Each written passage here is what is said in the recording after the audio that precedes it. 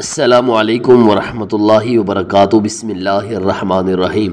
اشرا ذی الحجہ میں یہ دس کام ضرور کریں، سارا سال برکتیں ملتی رہیں گی۔ اللہ اتنا رزق دے گا، سنبھالا نہیں جائے گا۔ رحمت کی بارشیں ہوں گی، کیونکہ ان دس دنوں کی بہت فضیلت ہے۔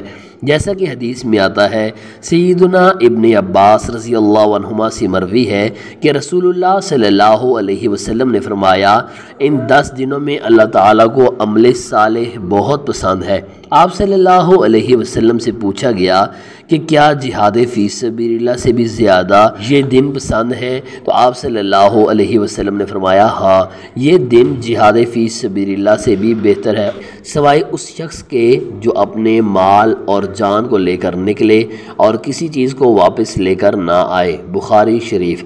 دوسری حدیث میں آتا ہے، سیدنا ابن عمر رضی اللہ عنہما سے مروی ہے کہ رسول اللہ صلی اللہ علیہ وسلم نے فرمایا، ان دس دنوں سے بڑھ کر اور سب سے زیادہ محبوب اللہ تعالیٰ کو کوئی اور دن نہیں ہے، لہٰذا تم ان دنوں میں کثرت سے تسبیح، تحمید اور تحلیل کیا کرو۔ تبرانی اسی طرح ایک اور حدیث میں ہے، سعید بن جبیر فرماتے ہیں کہ سیدنا ابن عباس رضی اللہ عنہما کے مطابق رسول اللہ صلی اللہ علیہ وسلم ان ایام عشرہ میں سخت ترین محنت سے عمل ساحلے فرماتے تھے۔ بحوالہ دارمی۔ امام ابن حجر رحمہ اللہ کے مطابق اس عمل صالح کی وجہ غالباً یہ ہے کہ ان دنوں میں حج کا اجتماع منعقد ہوتا ہے اور حج اسلام کی اراکین میں شامل ہے۔ لہٰذا ان دس دنوں میں دس کام کر لیجیے۔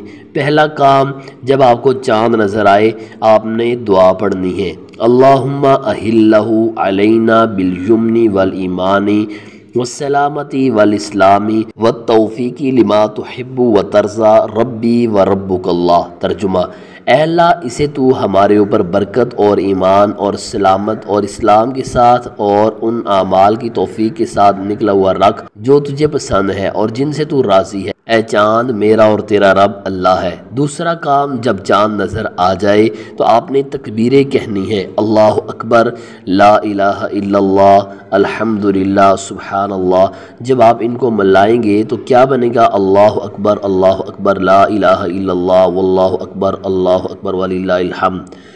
تیسرا کام چاند جب نظر آ جائے تو نہ بال کٹوانے ہیں، نہ ناخن کٹوانے ہیں۔ چاند نکلنے سے پہلے پہلے یہ کام کر لیجیے۔ چوتھا کام، روزہ رکھنا ہے۔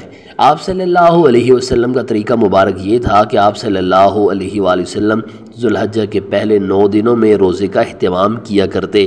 اور خصوصاً عرفہ کے روزے کے بارے میں رسول اللہ صلی اللہ علیہ وآلہ وسلم سے سوال کیا گیا، عرفہ کے روزے کا ثواب کتنا ہے؟ تو آپ صلی اللہ علیہ وآلہ وسلم نے فرمایا، ایک پچھلے سال کے گناہ ایک سال گزر رہا ہے، دو سالوں کے گناہ اللہ معاف کر دیتے ہیں۔ تو آپ کوشش کریں کہ پہلے نو دن کا روزہ رکھیں، نہیں تو عرفہ کا روزہ، نو ذلحجہ کا روزہ ضرور رکھیں۔ پانچواں کام، آپ نے دس دنوں میں قرآن مجید کو مکمل کرنے کی کوشش کرنی ہے۔ چھٹا کام آپ نے ان دس دنوں میں اللہ کا کثرت سے ذکر کرنا ہے۔ چلتے پھرتے استغفر اللہ سبحان اللہ الحمد للہ لا الہ الا اللہ، واللہ اکبر، لا حول ولا قوت الا باللہ، حسبی اللہ و نعم الوکیل، یا حیو یا قیوم۔ برحمتی کا استغیث۔ اللہ اللہ ربی لا اشرک بھی شیعہ اللہ کی قسم وہ لذت آپ پائیں گے جو زندگی میں کبھی کسی کھانے سے آپ کو میسر نہیں آئی ہوگی۔ ساتواں کام کم از کم ان دس دنوں میں نوافل کثرت سے پڑھیے۔ صبح نماز پڑھ کے شراک تک ذکر کیجیے دو رکت پڑھیں گے، حج میں نہیں جا سکے، کوئی بات نہیں۔ آپ ارادہ تو رکھتے ہیں حج کا، دو رکت پڑھ لیں گے، سورج نکلنے کے بعد اللہ حج عمرے کا ثواب دے دیں گے۔ چاشت کا وقت ہوتا ہے۔ سوا دس بجے چار رکھتے پڑھ لو گے اللہ فرماتے ہیں، دن کے شروع میں چار رکھتے تم پڑھ لینا، باقی سارا دن میں تمہیں کافی ہو جاؤں گا۔ چار رکھتے ظہر سے پہلے اور چار رکھتے بعد میں پڑھ لینا، اللہ جہنم پہ تمہیں حرام قرار دیں گے۔ چار رکھتے اثر سے پہلے بھی پڑھ لینا، اللہ کی رحمت کے مستحق بن جاؤ گے۔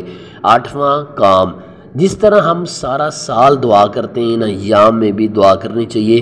جب ان ایام میں دعا کی جائے گی تو پورے سال کی دعاؤں سے افضل دعا ہوگی۔ اگر آپ کو سب کچھ مل چکا ہے تو اپنے بھائیوں کے لیے دعا کر لینا، اولاد کے لیے دعا کر لینا، اس معاشرے کے لیے دعا کر لینا، اس وطن کی سلامتی پہ دعا کر لینا۔ یہ دعا انسان کی تقدیر بدل دیتی ہے۔ خصوصاً جب اذان ہو جائے۔ جماعت کھڑی ہونے تک دعا کو اللہ رد نہیں کرتا۔ اس لیے ان ایام میں کثرت سے دعا کرنا، نواں کام۔ آپ صدقہ اور خیرات کرنا۔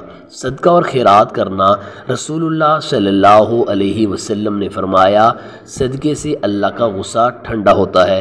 سب کے سب گناہ معاف ہوتے ہیں اور صدقے سے صرف گناہ معاف نہیں ہوتے، اللہ ذوالجلال قبر کو ٹھنڈا کر دیتا ہے، پوری موت سے بچا کے حسن خاتمہ عطا کر دیتا ہے۔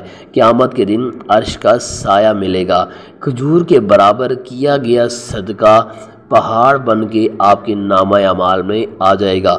دسواں کام، ان دس دنوں میں خیر خواہی کے لیے اپنے آپ کو نکالو۔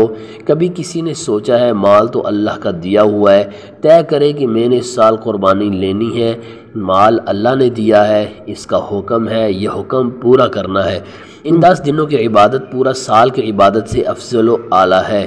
لہٰذا ان دس دنوں سے فائدہ اٹھائیں۔